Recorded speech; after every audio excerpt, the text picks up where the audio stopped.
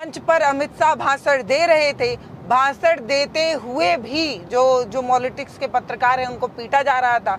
उनको पीट पीट कर जो अ, स्टेज लगा हुआ था उसके पीछे एक कमरे में बंद कर दिया गया। एक की राघव अपर काट से आते हैं द्विवेदी हैं लेकिन उसके बावजूद भी उनकी उनका चेहरा जो है उन, उनकी जो दाढ़ी थी वो कुछ मुस्लिम टाइप लग रही थी इसलिए उन्हें मुल्ला आतंकवादी कहकर वहाँ के लोग जो है उन्हें पीट रहे थे। ये राघव खुद बता रहे हैं। कल खुद मैं मोदी जी की रैली में वहाँ मौजूद थी। खुद एक बवाल मैंने खुद देखा। रायबरेली के सरकारी अस्पताल में एक बेड पर लेके एक पत्रकार की कहानी बताने आई हूँ।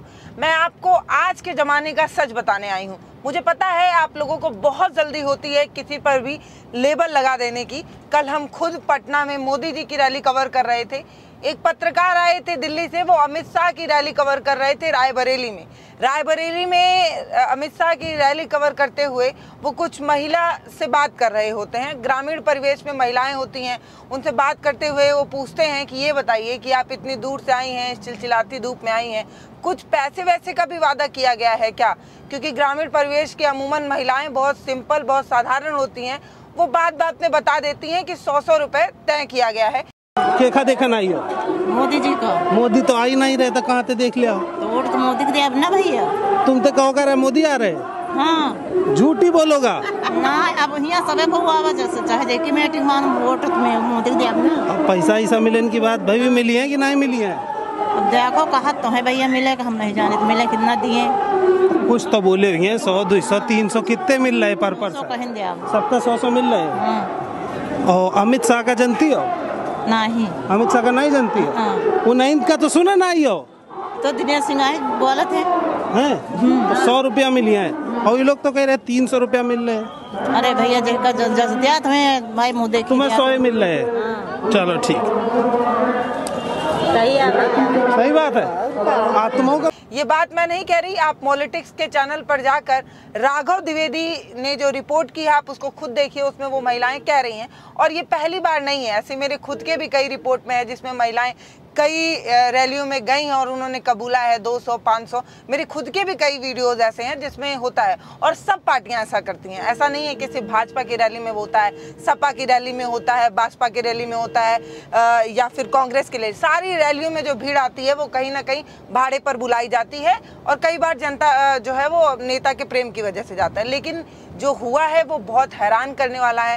राघव को उसकी, उनकी दाढ़ी देखकर मुल्ला कहकर पीटा जाना और भीड़ इस तरीके से जय श्री राम का नारा लगाकर उन पर आतुर होती है, उनके माइक को छीनती है, उनको इतना मारती है, इतना मारती है, इतना मारती है कि अस्पताल में उनको भर्ती हो जाना पड़ता है। आज मैं आपको बताने आई हूँ कि इस समय स्वतंत्र पत्रकारिता करना कितना मुश्किल है और सच दिखाना उससे भी ज़्यादा मुश्किल है। राघव द्विवेदी जो है, वो पॉलिटिक्स के चैनल में एक पत्रकार हैं पट वो दिल्ली से जो है वो रायबरेली और अमेठी को कवर करने आए हुए थे। रविवार को अमित शाह की रैली थी रायबरेली में। मंच पर अमित शाह भाषण दे रहे थे। भाषण देते हुए भी जो जो पॉलिटिक्स के पत्रकार हैं, उनको पीटा जा रहा था। उनको पीट पीट कर जो स्टेज लगा हुआ था, उसके पीछे एक कमरे में बंद कर दिया गया। ये बात खुद राघव द्विवेदी बता रहे हैं। राघव द्विवेदी ने और जो कुछ भी बताया है, वो सुनते वक्त मुझे बहुत हैरानी हुई क्योंकि मैं खुद इस फ़ील्ड से हूँ और अब सच में एक जो डर का माहौल बनाने की कोशिश की जा रही थी, वो बनने भी लगा है। आप सोचिए कि राघव ये बता रहे हैं कि जो भीड़ थी, वो उनको पीट रही थी और उनसे उनका कैमरा छीन कर क्लिप डिलीट करने के लिए कह रही थी और क्योंकि उन्होंने वो क्लिप डिलीट नहीं की, इसलिए उनको इतना मारा इतना मारा इतना मारा कि वो बेहोश हो गए। और जब वो बेहोश हो गए, उसके बाद उनकी नींद उस समय खुली जब वो एक सरकारी अस्पताल के एक बेड पर लेटे हुए थे। ये पूरी कहानी ऐसी है जिसमें राघव ये बताते हैं कि जब उनको पीटा जा रहा था, तब वहाँ खाकी वर्दी के कई लोग तैनात थे और ऐसा उनके खुद के चैनल के वीडियो में भी है। अगर स्क्रीन पर हम कुछ इस्तेमाल करके दिखा पाएँ तो आपको दिखाएँगे, नहीं तो आप उनके चैनल पर जाकर देखिएगा। जब राघव को वहाँ के कार्यकर्ता और कुछ उपद्रवी लोग पीट रहे थे तो खाकी वर्दी के लोग कैमरे पर कैप्चर भी हुए हैं बाकायदा। दो तीन लोग तो कैमरे पर दिख भी रहे हैं, दो तीन खाकी वर्दी के जवान जो हैं, वो वहाँ खड़े हैं, तब भी राघव को भीड़ जो है वो उन पर चढ़ रही है, चिल्ला रही है, उनका उनका कॉलर खींच रही है, और ये सब कैमरे पे कैप्चर हुआ है। उसके बाद, क्योंकि राघव के पास जो क्लिप थी वो उन्होंने अपने कैमरामैन को इशारा किया कि आप हटिए, नहीं तो जो क्लिप है वो डिलीट हो जाएगी।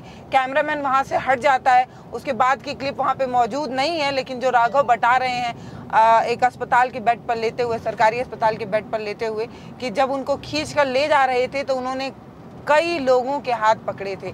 उसमें खाकी वर्दी के वो वो लोग भी थे जिनकी ड्यूटी थी कि उस पूरी रैली को शांतिपूर्वक बनाए, उस पूरी रैली में कोई भी उपद्रव ना हो। राघव बता रहे हैं कि उन्होंने कई पुलिस वालों के हाथ पकड़े कई पुलिस वालों से रिक्वेस्ट किया कि बचा लीजिए लेकिन कोई पुलिस वाला उन, उनको बचाने की कोशिश नहीं किया। उसके बाद वो कई मेन स्ट्रीम मीडिया के चैनलों का भी नाम लेकर बता रहे थे कि उन चैनलों के पत्रकारों को भी उन्होंने रिक्वेस्ट किया कि आप मेरी मदद कीजिए। लेकिन क्योंकि वो मेन स्ट्रीम मीडिया थी न जाने उन पर किस तरीके का दबाव है कि वो आ, मुझे नहीं कवर करते हैं मुझे नहीं दिखाते हैं कैमरा जो है वो घुमा देते हैं। सोच कर देखिए कि एक पत्रकार बिरादरी में भी किस तरीके का दो धड़ा बढ़ गया है। एक धड़ा जो अमित शाह की तारीफ़ में ये बता रहा था कि लाखों भीड़ आई हुई है ये है वो है ऐसा है वैसा है। उसी उसी बिरादरी का एक एक शख्स पीटा जा रहा था और कैमरे पर कैप्चर तक नहीं किया गया। ये राघव बता रहे थे कि भीड़ जो है, वो राघव ये भी बताए कि उन्हें इतना बुरी तरीके से मारा गया है कि उनके पेट में और सीने में अभी भी बहुत ज़्यादा दर्द है।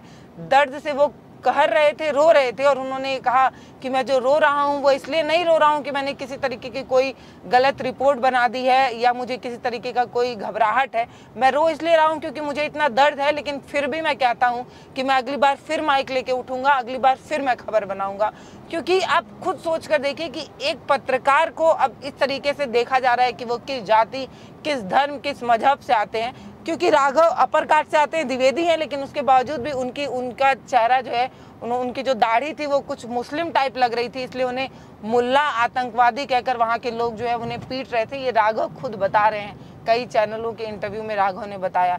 हैरानी इस बात की है कि जो पत्रकार था ना, उसने आज़ादी, जब आज़ादी की लड़ाई लड़ी जा रही थी तो तलवारों के बल पर नहीं लड़ी जा रही थी कलम के बल पर लड़ी जा रही थी।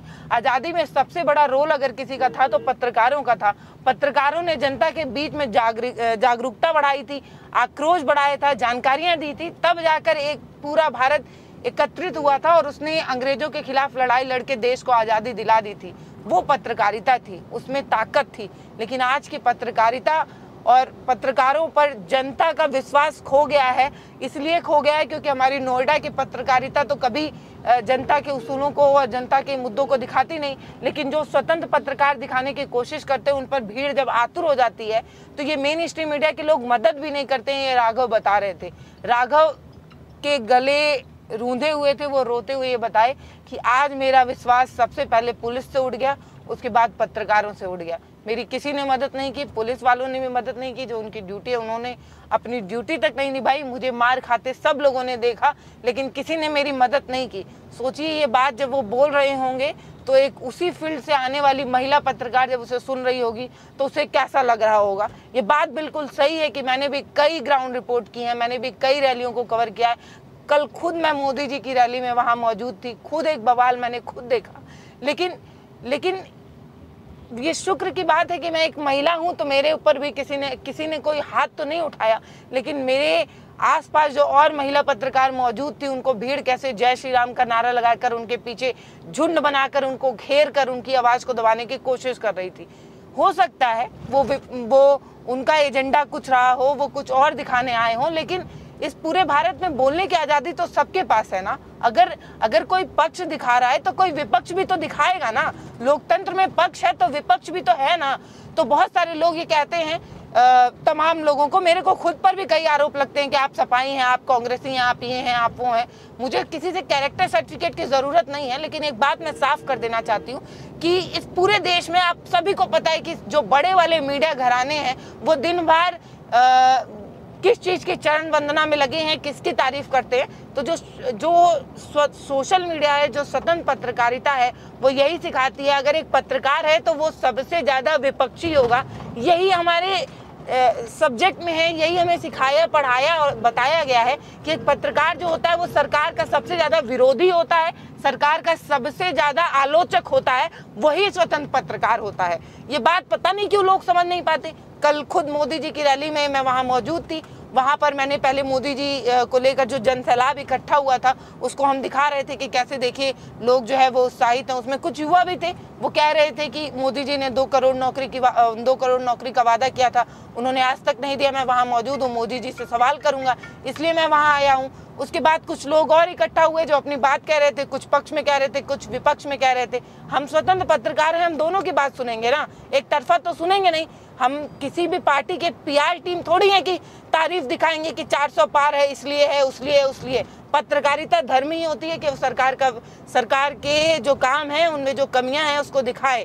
तो लोग वहाँ पर मुझ पर भी दबाव बनाने की कोशिश तो कर ही रहे थे कि आप जो है वो इन लोगों की बात क्यों सुन रही हैं, इनकी बात मत सुनिए, ये मोदी जी की रैली है, मोदी जी की, क्यों भाई मोदी जी की, क्यों सिर्फ़ मोदी जी की बात सुनी जाए? एक जनता है अगर आपका कोई मत है, आपकी कोई धारणा है, आप किसी को पसंद करते हैं तो उनका भी कोई मत है, उनकी भी कोई धारणा है, वो भी किसी को पसंद कर सकते हैं। ये लोकतंत्र है, इसमें सबको बोलने की आज़ादी होनी चाहिए। एक तरफा बात नहीं होनी चाहिए, लेकिन कल कुछ जो मैंने अपनी आँखों से देखा, वो तब भी ठीक था, लेकिन जो राघव बता रहे हैं, वो हैरान करने वाली बात है कि भीड़ उनको पीट रही थी। वहाँ पे बहुत सारे लोग थे, पत्रकार मौजूद थे, मेन स्ट्रीम मीडिया के पत्रकार मौजूद थे। राघव ने कई लोगों के हाथ पकड़कर उनसे मदद मांगी, लेकिन किसी ने उनकी मदद नहीं की। राघव पलट कर ये कहते हैं कि देखिए, आज मेरी बारी थी, कल आपकी बारी होगी। ऐसा तो नहीं है कि अगर आग लगेगी तो एक ही घर जलेगा। आज हमारा जल रहा है, कल आपका जलेगा। इस तरीके की बात हैरान करने वाली बात है। राघव राघव को जिस तरीके से पीटा गया है, उनके पेट में बहुत दर्द है। एक महिला पत्रकार से जब राघव पूछती हैं कि क्या आपने इससे पहले भी कई रैली कवर्स की हैं, इससे पहले भी आपके साथ कुछ ऐसा हुआ है तो राघव पलट कर ये कहते हैं कि मैंने इससे पहले कई रैलियाँ कवर की हैं, कांग्रेस की कवर की हैं, बीएसपी की कवर की हैं, कई ऐसी रैलियाँ मैंने कवर की हैं जिसमें कई लोग कई बार नाराज़ भी हो जाते हैं, लेकिन कभी किसी ने हाथ नहीं उठाया, कभी कोई मारा नहीं। लेकिन आज की रैली कैसी है ये मैं आपको बता नहीं सकता, मैं आपको ये नहीं बता सकता कि जब 40-50 लोग आपको पीटते हैं तो आपको कैसा लगता है।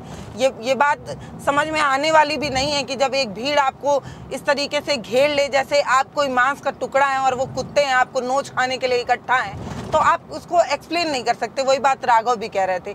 एक स्वतंत्र पत्रकार होने के नाते मैं इस चीज़ की कड़ी निंदा करती हूँ और मैं उन तमाम लोगों से रिक्वेस्ट करती हूँ जो आज भी स्वतंत्र पत्रकारिता पसंद करते हैं कि इस मुद्दे पर प्लीज़ आवाज़ उठाइए। हम स्वतंत्र पत्रकार जो हैं वो आपके लिए ही खबरें बनाते हैं। हम हम सच्चाई निकाल कर आपके लिए ही लाते हैं कि आप जो है इस चीज़ को लेकर सतर्क होइए, सावधान होइए। अगर आप अपना कोई मत बना रहे हैं तो वो पूरी निष्पक्षता के साथ बनाइए। इसलिए हम लड़ते हैं, आपके लिए आवाज़ उठाते हैं। आखिर में एक बात कहना चाहती हूँ। कल जो मैंने अपनी आँखों से देखा था मोदी जी की रैली में, उसमें भी मैं एक बात कहना चाहती हूँ। बहुत सारे लोग जो जो उन तमाम महिला पत्रकार या फिर जो महिला वहाँ पर मौजूद थी, उनको बोल रहे थे कि तुम विपक्षी हो, तुम क्यों आई हो, तुम मत बोलो। उनसे कहना चाहती हूँ कि अगर पक्ष को बोलने की आज़ादी है तो विपक्ष को बोलने की भी आज़ादी है। तो अपना आप मानसिक स्तर इतना मत गिरा लीजिए, भक्ति में ठीक है, मोदी जी एक लोकप्रिय नेता हैं, मोदी जी को लोग पसंद करते हैं, उनकी नीतियों की वजह से पसंद करते हैं। तो कुछ लोग तो होंगे ना जो उनका विरोध भी करते होंगे, कुछ लोग होंगे जो उनकी नीतियों को नहीं पसंद करते होंगे। तो आप अपना मानसिक स्तर इतना मत गिरा लीजिए कि आपको मोदी जी में भगवान नज़र आए और उनमें अगर कोई बुराई कर दे, उनकी किसी नीतियों का कोई विरोध कर दे तो आप उस पर हावी हो जाएँ, आप उसकी आवाज़ दबाने के लिए एक भीड़, ऐसी भीड़ बनकर, पागल भीड़ बनकर उनका पीछा करने लगे, उसे दौड़ाने लगे। एक एक वीडियो है, एक वीडियो क्लिप है मेरे पास जिसमें एक एक अंकल हैं जिनको मैं खुद अपने हाथ से पुश करते हुए पीछे कर रही थी क्योंकि वहाँ पे कम से कम तीन चार लड़कियाँ थी और उन जगह बहुत कम थी और लोग और चिपक कर और उन, उनके पास आ रहे थे तो मैंने उनको धक्का दिया था। तो वही मैं बताना चाहती हूँ कि आप किसी को भी पसंद करिए लेकिन अपना मानसिक लेवल इतना मत गिरा लीजिए कि विरोध के सुर आप एकदम पसंद ही मत करिए। लोकतंत्र में बोलने की आज़ादी सबको है और सबको ही बोल सकता है। तो राघव जी के साथ हमारी पूरी संवेदना है। भारत एक नई सोच की पूरी टीम आपके साथ खड़ी है राघव जी। और एक बात मैं फिर से कहना चाहती हूँ कि स्वतंत्र पत्रकारिता को आप प्लीज़ सपोर्ट करने के लिए राघव जी के मुद्दे पर आवाज़ उठाइए। नमस्ते, मैं पल्लवी हूँ, आप भारत एक नई सोच देख रहे हैं।